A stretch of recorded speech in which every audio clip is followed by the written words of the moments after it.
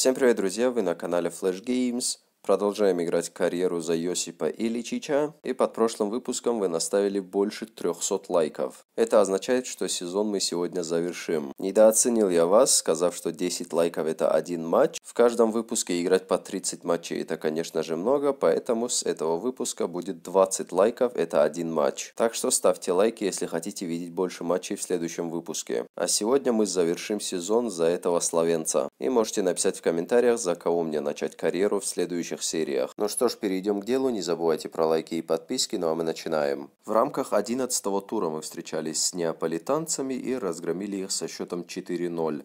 Напомню, что до этого матча у Иличича была следующая стата. 4 гола и 3 ассиста за 10 матчей. А сегодня он оформил дубль и успел еще и голевую передачу отдать. Проигрываем мы Ювентусу в следующем туре исключительно из-за ошибок центрального защитника Лацио Луиса Филиппе, но и Зелинский забил один лонгшот. Второе подряд поражение, на этот раз в гостевом матче против Ромы. Прервалась наша серия без побед. 3-0 мы раскатали Кальяри, голы на счету Месси, дубль он оформил и Кулибали. Давненько не выигрывали так крупно, дубли на счету Мореза и Криштиану Роналду, но и по голу забили Кин и Марата. Ни разу такого еще не было, и Личич оформляет хет-трик, ну а мы побеждаем Болонью со счетом 0-3. Очень неожиданно мы проигрываем 0-2 в следующем туре. Опять мы встречались против Наполи, и на этот раз счет 0-0.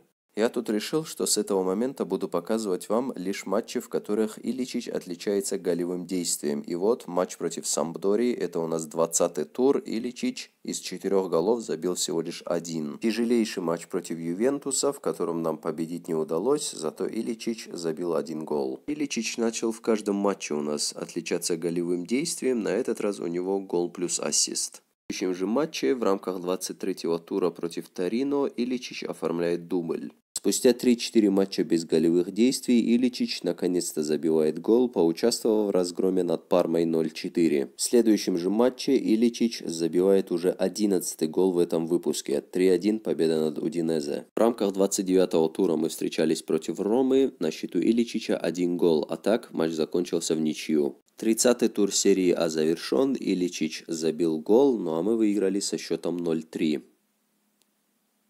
Так, это что у нас такое? 30 туров всего лишь закончилось.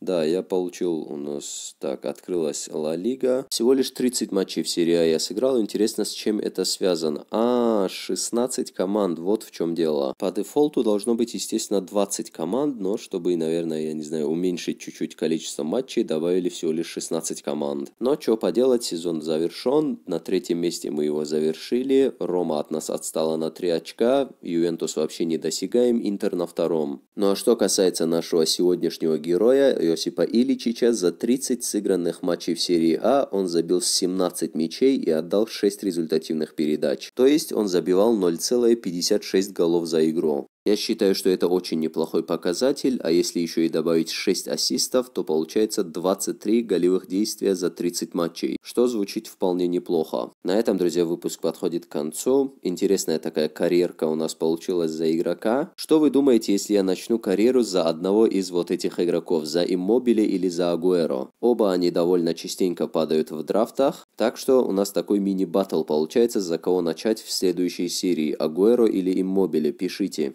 Ну а вам всем огромное спасибо за просмотр, не забывайте про лайки и подписки, ну а с вами был я, Flash Games, всем всего доброго и удачи.